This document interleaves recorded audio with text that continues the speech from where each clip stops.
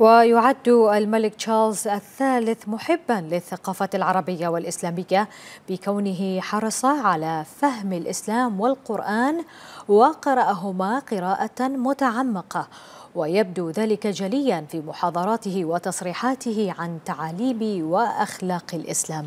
نعم وجاءت اهتماماته بالدين الإسلامي في عدة محاضرات منها بمركز أوكسفورد للدراسات الإسلامية عام 1993 بعنوان الإسلام والغرب.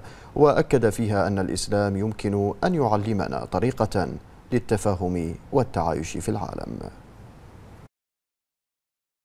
لطالما كان للملك تشارلز الثالث اهتمام كبير بالإسلام والمسلمين منذ عقود طويلة. فهو قارئ مهتم بالأديان والثقافات وأحد أصحاب الفكر الذين درسوا الإسلام بعمق وتعلم اللغة العربية من أجل فهم النص القرآني. حرص الملك تشارلز الثالث على إبراز دور الإسلام في المجتمعات الغربية من خلال زيارته لدول العالم العربي. فهذا الحرص الذي يوليه الملك تشارلز للإسلام ليس بجديد بل يعود إلى فترة ولايته للعهد.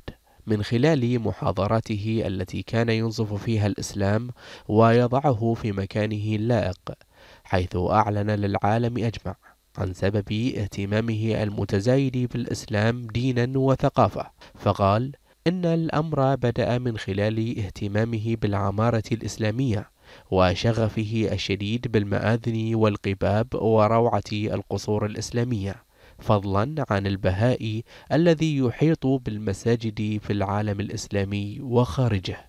فقد تجلى اهتمام الملك تشارلز الثالث بالإسلام من خلال حرصه على فهم الإسلام والقرآن لإيمانه بأن الإسلام يعلم الإنسان طريقة التفاهم والتعايش في العالم.